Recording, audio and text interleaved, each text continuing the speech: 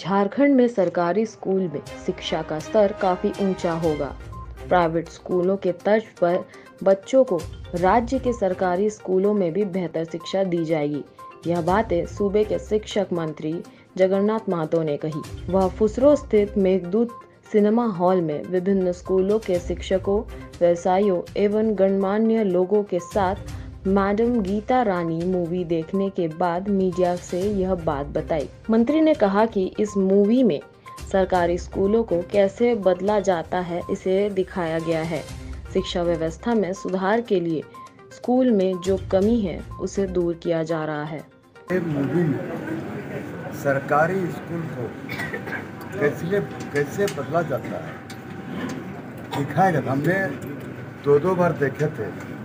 बहुत दिन से इच्छा था कि हम देखें लेकिन पुत्रों का हमारे व्यवसाय संघ के सभी लोग मेहनत किए और सभी शिक्षक को दिखाए हम शिक्षा का बदलाव चाहते हैं। सरकारी स्कूल को प्राइवेट करने का बराबरी करना चाहते हैं यही मेरा उद्देश्य था। ये मूवी देखो सरकार सरकार की तरफ़ से क्या प्रयास करिएगा? सरकार हाँ, की तरफ़ अच्छा से सवाल है। सरकार की तरफ़ से शुरू हो गया। आज जैसे गाड़ी दिखाकर शुरू कर दिए, सभी स्कूल में शिक्षण व्यवस्था दुरुस्त करने के लिए।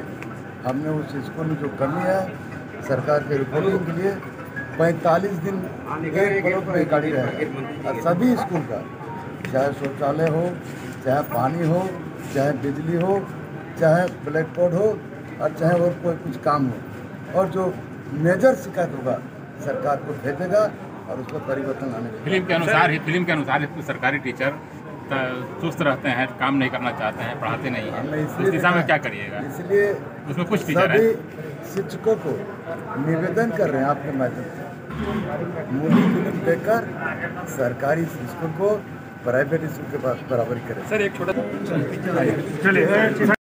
अगर आप इस चैनल पर नए हैं तो हमारे चैनल को लाइक शेयर एंड सब्सक्राइब ज़रूर करें, ताकि आने वाली देश विदेश की खबरें आपको मिलती रहे। स्वदेश वाणी।